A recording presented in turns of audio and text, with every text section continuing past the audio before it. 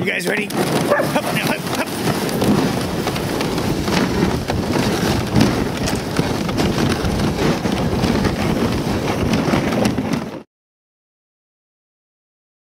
a sled dog right at the Rocks Estate. Right here in beautiful Bethlehem, New Hampshire.